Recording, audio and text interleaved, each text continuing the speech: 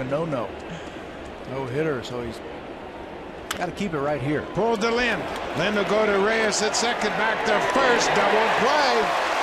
That erases the leadoff walk. Nice play by Adam Lind to start the double play. Mm.